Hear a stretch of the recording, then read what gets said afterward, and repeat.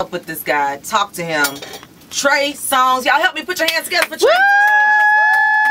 I'm clapping. I ain't supposed to clap, huh? No, yes you are. Oh.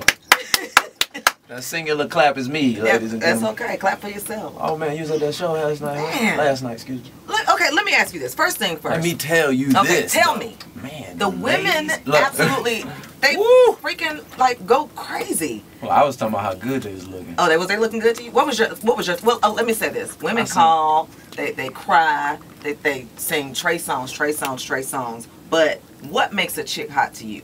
What makes her hot? Confidence. I think confidence is one of the sexy things, the sexiest thing a woman can wear.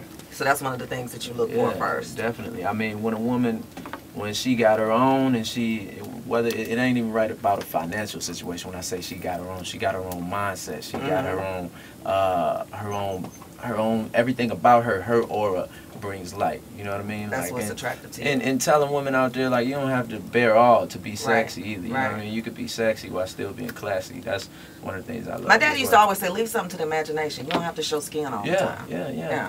A beautiful face is something that you can't deny either, every time.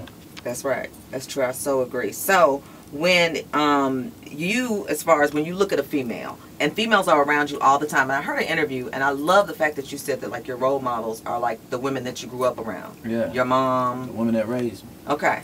Yeah, they, they are the inspiration that I had before I even knew I was going to do music. Uh, before I, I looked to anybody to inspire me, I already had inspiration around me. Uh, they raised me. They, they sacrificed a lot to, to a lot of their dreams. You know what I mean? My mother, my Mhm. grandmother, all down to my aunties. Uh, they all sacrificed so much to, Okay. to, to make sure that we live good lives. And I'm speaking about myself, my cousins, Right. my brothers. Well, let me ask you this. Since your music, and you know everybody has their opinion, but some Right. like I've read in a blog where they say Trey Songz music is like oversexed, but everybody has their own opinion. Because Definitely. What your mama and your grandmama and them be saying I mean, that's like saying Rick Ross music overdoped. I guess so. You know what I'm saying? But Like- do they come to your performances? Because like the girls, They do. They was they kissing do. your chest. My grandma all, was actually in D.C.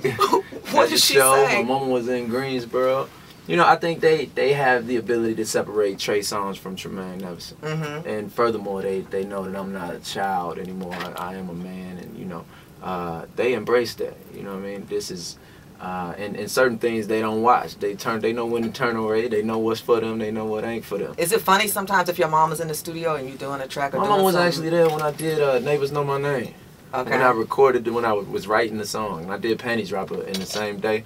And she, I was like, Panty Dropper, this is gonna be a smash. I love it. I love it. She was like, no, Neighbors is the one. Neighbors is, and she was right. so are you are they uh, overprotective about the women that you date? Like, do they try to? Are they picky because I mean, I don't one? bring, I don't bring women around them unless it's, it's already at a point where I know I could trust the woman. I know that it's somebody that I'm gonna be spending a lot of time with. Uh, and you know, my mother, my grandmother, women in my life, they let me live my life for the most part. Love it. So you got the new album, Chapter Five. Um, Yeah, and I, you soon. been in the studio with uh, Ti. Yeah. What's Uh, me and Tip was in the studio night before last. Uh, and that thing till about six o'clock.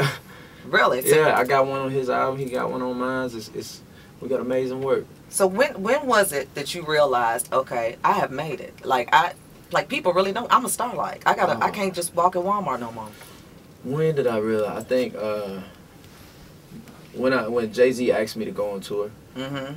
and uh, moments after that, like I think that was a very pivotal place in my career. Right.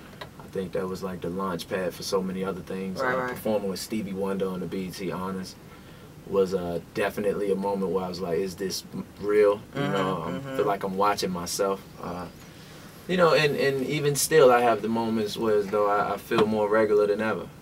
That's awesome. Yeah. So when you first got that first irregular check that said, "Damn, I got some money," what was the first major purchase that you that you bought when you like, okay, I got money now? Oh, I, I got plenty of money. I love it. I love it. Uh, the first major check I ever got, though, I bought my mama a house. really? Yeah. The first piece of real money I saw.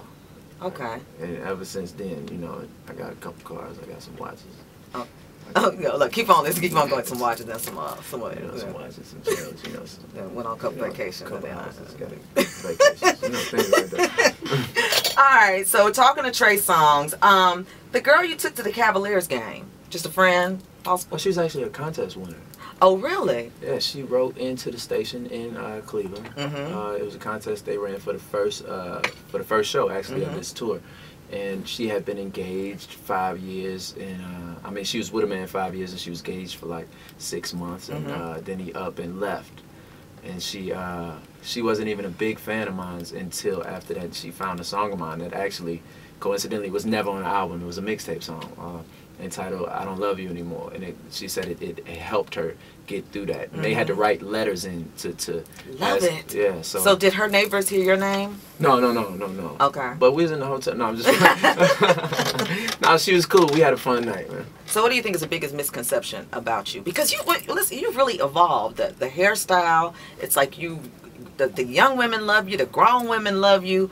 I mean, what do you think is the biggest thing, the misconception or something that people don't know about I you? mean, I think misconceptions can be vast when you when you're dealing with an artist because it's it's uh it's uh the fact that you really don't know this person although you think you do right. because all you know about the person is the information you're given. Uh, and I don't know what the biggest misconception is about myself. I just try to do me. Okay. Um, there's this thing that we talk about um, on the Rickey Smiley Morning Show. The women do anyway, and it's to decide, kind of like if dudes got that hammer, and obviously you Sledge. you, you got that. You got that what? got that sledge. So, and it sometimes it depends on just your opinion of things, and sometimes it depends on snacks. So just tell me what you like. Uh, vodka and cranberry, or you drink yak. Yeah. Okay. Neat. Um, late night or early morning? What you prefer? Late night to the early morning. Oh my goodness. Doritos or Fritos? Doritos or Frito? Dorito. You gonna have to go with the Doritos? Yeah. Dorito, hot. Mm, Them spicy ranch Yeah, ones good. spicy. Really good, man. Barbecue chips, crunch and munch. Mmm. Mmm. I probably more frequently hit the hmm? barbecue chips up, Right. but them crunchy ones do That's the what I job though.